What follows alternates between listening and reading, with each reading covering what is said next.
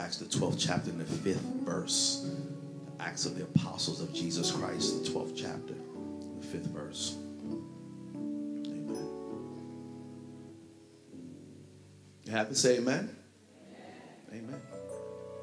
Peter, therefore, was kept in prison, but prayers were being made without ceasing of the church unto God for him. Now, Peter was locked up in prison, but prayers were being made for him without Peter is locked up in prison. But prayers, somebody gonna say it one more time. Peter is locked up in prison, but prayers were being made for him continually. Uh, for the few moments as our last Sunday in our prayer series, uh, I want to teach and preach using as a thought or a theme, what can prayer do for you? What can prayer do for you? Father, we come this morning, we thank you, we give you glory, give you honor and praise, for there is none like you. Father, we have searched all over, and our searching was totally in vain, brought us back to you.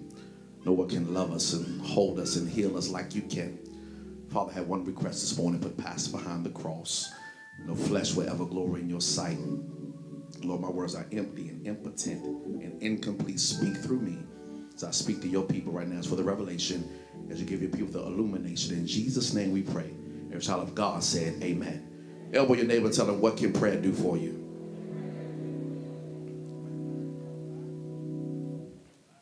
The early church is now in a dilemma. They, they, they followed the will of God. They done everything that God had orchestrated and told them to do.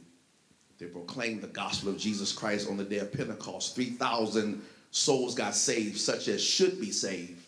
Peter is now preaching and teaching the word of God. The Gentiles are being delivered. Blind eyes are being opened. And it seems as if everything was going right according to the will of God. But, but, but how many of you know that, that sometimes the will of God for your life or sometimes obeying the will of God can be a tricky business?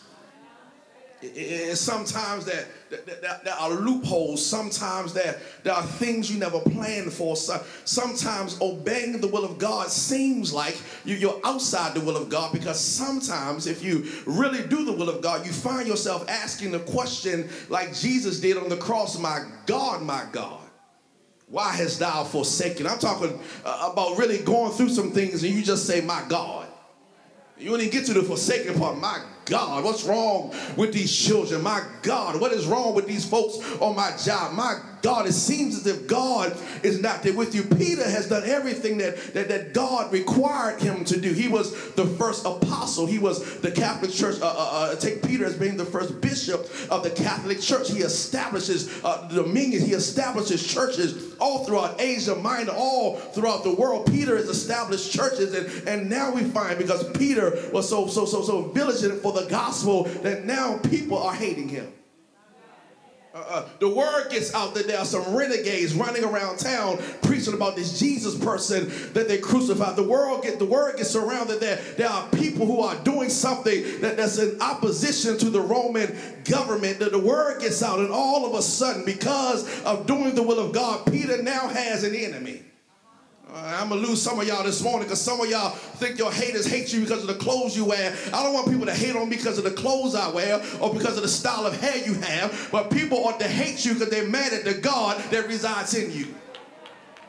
There should be something about you that when you come around people without saying anything, they get irritated about the God that see you. Should be something on your life that people that used to hang with don't want to hang with you anymore because there's something different in your life. There should be something that irritates people. Just as much as ignorant people irritate you now, saved folks should irritate ignorant folks.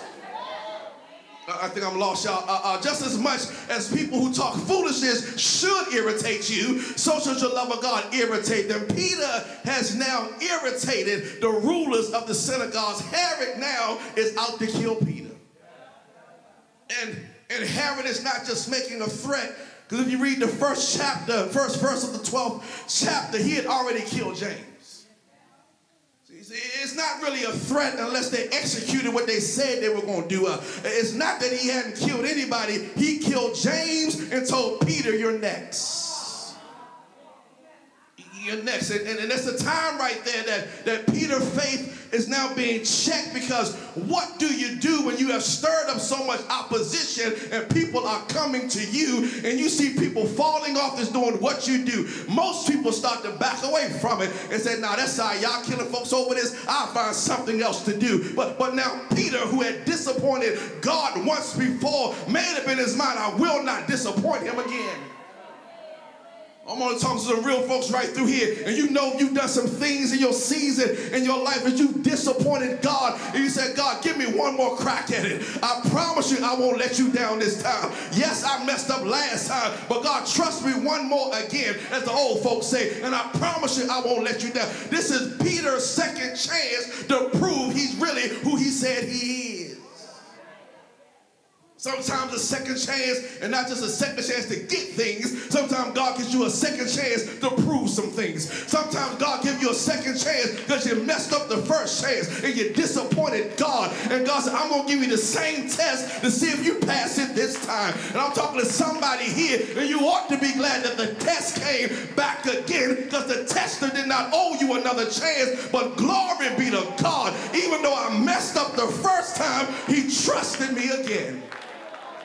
At him tell me he trusts me again. He, he trusts me again. I, I messed up the first relationship, but he trusts me. Again, I made a mess of my old church, but he trusts me. Again, I messed up the last time I was in ministry, but he trusts me again. Maybe I'm just preaching to myself, but is there anybody in here that'll give God a little itsy bitsy praise because uh, he trusted you again?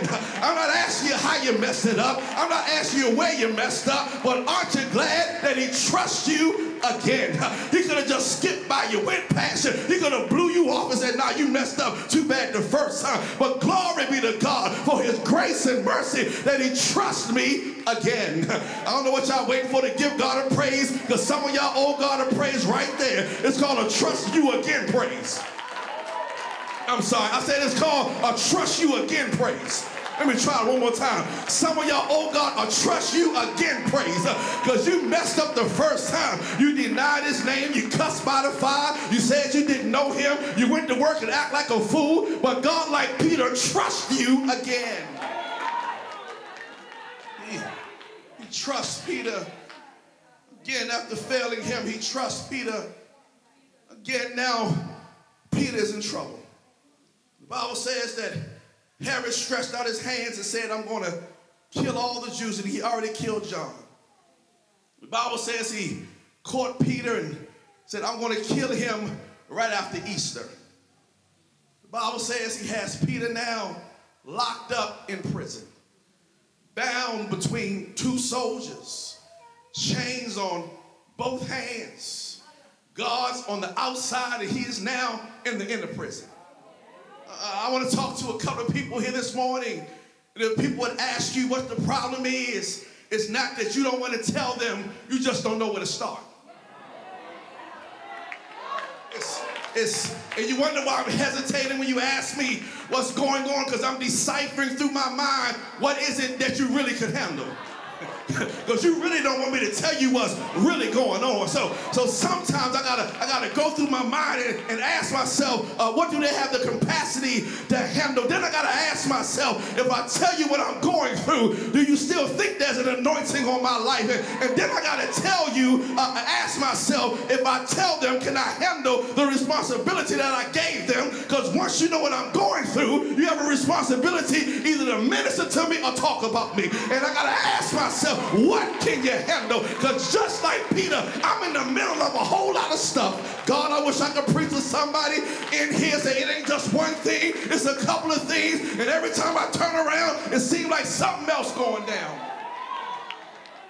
And you want to rub my back and fan me with a Spencer Sewell funeral fan. The devil is a lie. I'm going through too much hell in my life for just some cute, easy, weasy prayer. For you I'm praying for you. But you know you're really not praying for me. But I'm in a season in my life that I'm between some stuff. Have you ever been between something, uh, between going or staying, between starting it or shutting it down? Uh, have you ever been in between a, a situation and, and the problem is you're bound on both sides? You missing it. He, he's bound on both sides. Both sides have him locked down. I need to talk to some real people that you're bound in the middle of something and, and you're sitting there perplexed and ask yourself, how am I going to get out of this? Oh God, have you ever asked yourself that question? How am I going to get out of this? I've wiggled my way out of some stuff and I've talked my way out of other things and I've brought my way out of some situations. But every now and then you will get in a predicament that you can't talk or wiggle your way out of. You sit there and asking yourself, how do I get out of this? I'm in bankruptcy and foreclosure. How do I get out of this? They got litigations and lawsuits. How do I get out of this? I got breast cancer and HIV. How do I get out of it? I need to talk to somebody that's in the middle of something. He's bound on, on both, both sides on you. He, he's bound by two chains. Was a youth service, I'll preach two chains. I'm different. Yes, I'm different. He's bound in the middle. Something he just can't loose himself from. Something in the text arrested my attention. The Bible says that he's bound between two soldiers sleep. He's bound between two soldiers with a threat of death on his life, but he's asleep. Let me say it again, Kay. Um, he's bound by two soldiers. The death of threat is looming over his head, but he's asleep. Can I tell you something? When you know Jesus for yourself, I don't care what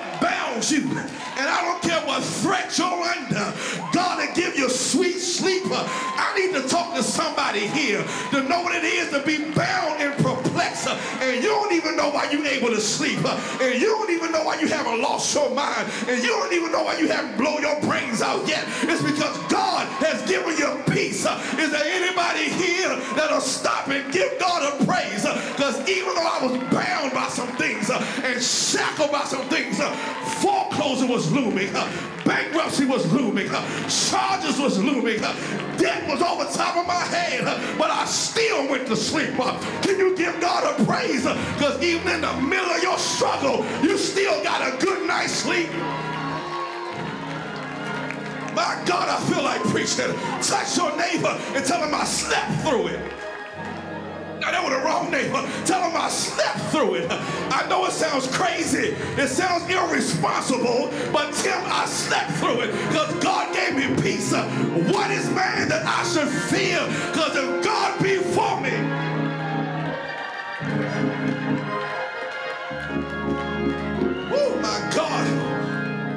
Y'all sit down. Ooh, Shabach. Ooh, that was a word for somebody right there. I don't know what you got to face tomorrow. I don't know whether you're getting furloughed or sequestered. I don't know whether you're getting sued or screwed, but just sleep through it. Just sleep through it. Just look at your neighbor and sleep through it.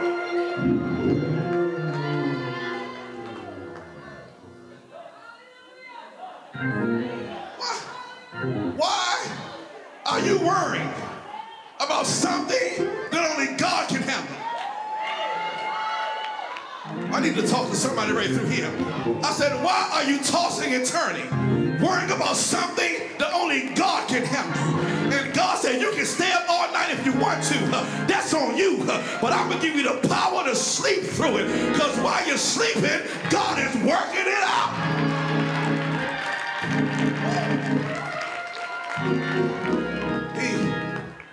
He, he's between two soldiers, Russell, bound by two chains. He said, Pastor, what can prayer do for you? He's, he's bound by two chains. The threat of death is looming over his head. It ain't just play death. You know some people sell wolf tickets. You know, uh, they talking I'm gonna beat you up in the parking lot. I'm gonna beat you up in, in the sandbar. I'm gonna beat you up at recess. Uh, they just talking. They ain't beating nobody else up. But it's different when the school bully done whip all your friends, tell you you next. You got bubble guts, you can't even eat your, can't even eat your uh, uh, uh, uh, uh, potato tots at lunch. They gave your tater tots away. You got, it's your turn on the jungle gym, you can't swim.